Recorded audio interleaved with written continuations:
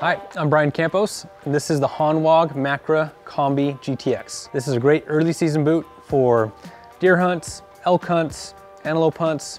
The terrain I've used it in is desert, uh, a little bit of high country mountains, uh, rocky terrain, and it's done really well for me.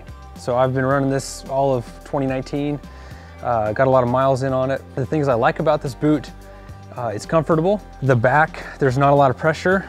The cuff is nice and soft.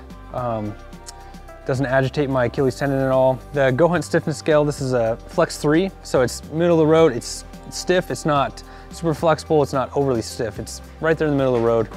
Works really great for me. Pair of boots is two pounds, 12 ounces. That's a size 10. Cordura and suede upper, full rubber rand, uh, Vibram re resolable sole, polyurethane, uh, so it's not gonna break down and, and, lose its bounce like EVA does. And uh, it's waterproof, Gore-Tex waterproof. I put it to the test. I've ran water directly on the top of my boot, no leaks. Also, this boot is uninsulated. All right, for sizing, I wear a 10 and a half in a Nike. In this, I would wear a 10 and a half as well. This specific boot, I wore a 10, didn't have any issues, but after putting it on, kind of comparing to other boots, I would be more comfortable in a 10 and a half, so it does run true to size. All right, again, this is the Hanwag Makra Combi GTX. It's durable, comfortable, waterproof. It'll get the job done. Let us know if you have any questions in the comments below.